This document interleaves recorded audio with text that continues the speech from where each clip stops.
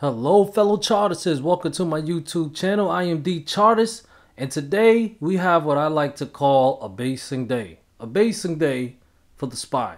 Now, what basing is pretty much it just means choppy price action. Uh, you know, choppy meaning sideways price price action, possibly a bull flag, falling wedge. You know, if if, if it's a bull trending market, you know, you'll see some bull flags, some falling wedges maybe a triangle pattern. Okay, so this is a daily chart of SPY, but if we go to a 30 minute, you can see what is that? Falling wedge. All right. So this is what if anybody that wonders what is what is basing basing this is what basing look like just choppy price action going sideways in a channel a flag or a falling wedge something like that okay and usually basing happens when, you know, like the SPY needs to build more strength for another leg higher. Okay, is it guaranteed to go another leg higher? Absolutely not. Nothing is 100%. So we always got to be prepared. But as you can see, look how many green candles we had. Okay, even on this day on the 20th, that, that we had a long wick. Okay, so there was a lot of buying pressure and one, two, three, four green candles. And these are some decent side bodies. That's the market makers moving the stock. Uh, excuse me, the, the, the ETF. Okay? So after all these days of green, strong green move, I mean, it was as low as 451. And it went as high as 478.7, 4.8. All right, so when that happens, it's reasonable for the stock, the ETF, or whatever you're trading, the Forex, to base a little bit. So it can gather strength to go to the upside. Okay, now yesterday I talked about a 480 price target. I mentioned that in my Discord as well. 480 and 483 with support for SPY at 477 to 478. We also closed below this, the, the, the critical support. Now it's a weak support. Uh, 474 to 474.5 will be a stronger support. At this point, 471 to 472 is a must hold. All right, because we are in breakout mode right now for SPY. We had a lot of breakouts that I spoke about yesterday with this orange line right here, yellow line right here. We're in breakout mode. So you know, basing is fine, but we need that critical the breakout level to hold. All right. So right now, I'm basing it on this blue support line. Make it a little longer. Has been serving as an equilibrium level for us since all the way back here in May. All right. So I use these these equilibrium lines as my support levels, my resistance levels depends, right? So 471 to 472 is a must hold level. Below that, it'll most likely take out this yellow support line. That was the breakout level. We'll head down lower. That is when I would turn bearish. But as long as it's holding, I would look for buying opportunities, preferably off of one of our support levels, okay? Whether it's a bounce off support or recapture of support. Right now in the aftermarket, we because we had support at 477, we closed 13 cents below it. That's not too bad of a close. And right now during the after hours, we're back above that support. All right. This could be one of those days, like I said, basing, we're just building strength, but also from a non-technical perspective, this could be a day where market makers are shaking out the weak hands. Maybe we was getting too, you know, happy. People just buying in calls. Thinking it's gonna keep on going. People catching FOMO. So th- they decided to, you know, let's chop a little bit today and knock out some of the weak hands. That's a possibility as well. I can't guarantee any of that, but you know, common sense. All right, because if you check the put the call ratio, there's a lot of calls coming in. You know, so that's a possibility as well. Okay, but I'm still bullish on the SPY. If it recaptures 477 it did in the after hour, but officially during the train hour, I would buy it. I would buy off of 474 support and I would buy off of 471.5 to 472, okay? Below that, I would cut my loss. Okay, you know a critical support level is lost when it drops down. Take out the support and then treat that same support as a resistance, and then it'll head down lower. That's how you know, guys. It's a process. Stock trading is boring. A lot of us want it to be fun, but it's really boring because it requires a lot of patience, sitting down and waiting and staring at your screen, or maybe you set up alerts, you know. But that's the process to know that you officially lost a critical support level. When it closes below and then it comes back and tests it, reject it, then it'll head down lower. That same rule applies for all, even the smaller time frames. Okay. So yes, we lost 477. Not right now, but we did in the trading hours. Tomorrow, if it's op- if it opens below 477, and then gold test 477 and gets rejected, it treated 477 as a resistant level. That's a sign that it'll go down lower. Okay? If it opens above 477 and it treat and it bounces off 477, maybe it'll come down and test. It might not as well. And it bounces off of that level and it stays above or it stays above that level. It's treating 477 as support or 477 is a support because it's above. That's a sign of more upside. And maybe we'll possibly hit our price target of 480 to finish out this megaphone pattern. Okay? But when a critical support is lost and it gets tested as a resistant, then we play it to the next support level. You can, like me, sit in cash position and wait for support to get hit or get a recapture, or you can switch and scalp it to the downside. Still managing your risk. Okay? So that's what I got for the SPY. All right? If it opens below 477 and treats it like resistant, we'll look for the next support uh, of 474.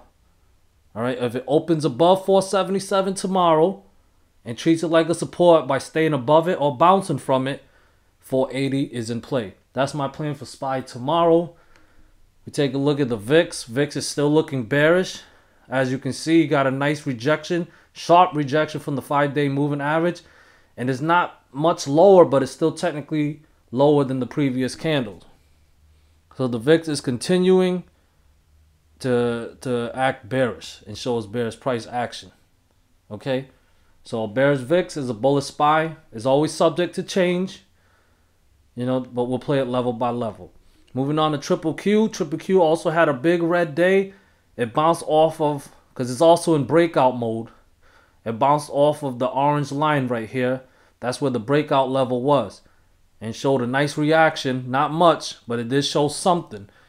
So we need follow through. Okay, the critical support is 401. We need follow through for tomorrow. Triple Q must continue to close and stay above 401. If it does, we're still going to have more upside. 408 first, possibly all the way up to 420. Okay? Possibly. All right? But below 4 1, I'm going to switch over to bearish. Okay? Because then that will be a false breakout. False breakouts are bearish. False breakdowns are bullish. So, uh, you know, take positions accordingly to your sentiment. And this is the Dow Jones. Have a lot going on. Dow Jones is above all moving averages. As you can see, I'll take it out. These are the Fib Fibonacci levels. So after the breakout of this blue trending line here, we had some follow through today and it closed even higher. Okay, it went as high as, today it went as high as 365. So it hit one of our price targets, but it quickly sold off a little bit, but it still closed above. So my next price target is 368 for the Dow Jones. Support will be down here at 362.6 and also for the breakout level of 361.7. As long as those two level hold, 368 is in play, then possibly go higher to 371. Okay, below 361.7, if it closes, that's going to end up being a false breakout, and we can see more downside. Okay, guys. IWM, I alerted IWM in my Discord yesterday. We had a 225 price target. The reason was we had a breakout here. And then yesterday, it came down to test the breakout, as you can see, at 220.7. That was a critical support. And it went up even higher and closed right at the 200 day moving average. So that made me bullish until the next resistance level around 225, which is this white line right here. That's from this triangle pattern, the white and then the red line. That's triangle pattern. All right, as soon as it hit our price target, it went a little higher and then it just sold off quickly. All right. Now the good news is for bulls is that despite this little sell-off, it's still closing above the five-day moving average and above breakout level. I would be more bearish if the IWM closes below 219. Okay, it closes below 219. You know, because I'm gonna let the scenario play out. I'm gonna let the price action tell me what to do. In order for the price action to tell us what to do, we need to see what it does first. Okay, because it talks to us by its action. So you got to see what it's gonna do. So if it closes below 219, that's bearish, and it's telling us, hey, it's gonna be another leg down. Okay, false breakout, another leg down. All right, but as long as that level hold, it's possible we go and test 225 again. And if we break it, 227, and then the big one up here at 232. All right, so that's what I got for IWM. Now today I'm gonna cover Tesla because crypto's not looking good. Ethereum just suck. Bitcoin just suck right now. You know, it's looking bearish, not looking good. I haven't checked it for hours, but last time I checked, it wasn't looking that good. So I decided, let's talk about something where my viewers and members could make some money. All right. So we got this big bull flag here for Tesla. Big bull flag. All right. It hit our price target. I, I alerted Tesla for the last couple of weeks. Made some good money on Tesla. And uh, I think some of my members made money on Tesla too. But we had an 11.15 price target. All right, it hit it. Okay, it went a little bit higher, 11.17, but it, it hit our price target and it sold off. Today, it went a little higher, attempted a breakout, went as high as 11.19, but then it sold off. Okay, now you got to understand, it went and back on the 21st, it was as low as 8.85. Then it went as high as 11.19. That is a big jump. So seeing this sell off today is not a big sell off, not nothing too serious, because Tesla is very volatile. This is not a bad thing, okay? Especially with it closing just below the resistant level. Just like the SPY, Tesla looked like it's basing, okay? I would be more bull uh, bearish if Tesla closed below 1,049. That's where the 50 uh, day moving average is.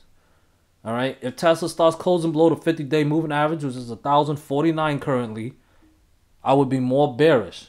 And I start betting to the downside, possibly back down to 905, 908, probably even lower, as low as 798 to the support line right here. Okay. But right now, all I'm seeing is that it's basing. And as long as it stay above 1,049, uh, above the 50 uh, day moving average, the five day, which is this red line, will continue to creep up and catch up. Okay? Then it won't be too overbought. It's not that it doesn't look over that overbought to me.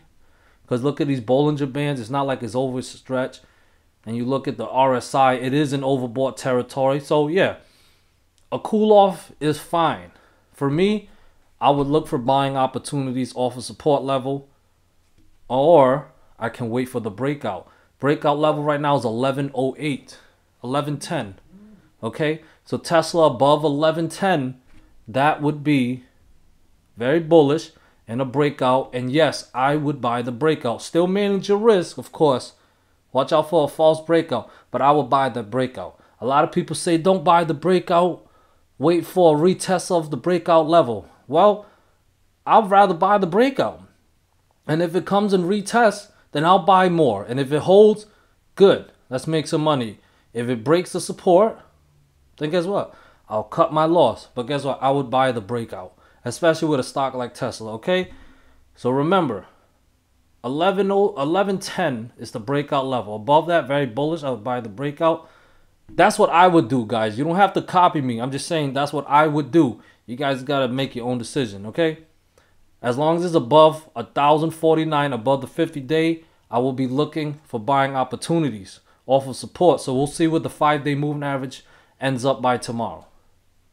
Okay, that's what I'm gonna do. I will switch to bearish if it's below 1,049. All right, so I've been talking a little too much, maybe a little rep repetitive, but I hope you guys got the message today and got the technicals. All right, that is price action technical analysis. I thank you guys so much for watching. I still got the $1 for your first month deal coupon thingy. All right, all you got to do, to, uh, click on the link for LaunchPass, put in the coupon code, Chartist05, that's a capital C, and you'll get your first month uh, just for a dollar and see what the fuss is about in Discord. Up to you. Either that, I'm so I'm so glad that you're here, you're watching. I hope you got something out of it, and I'll see you all soon.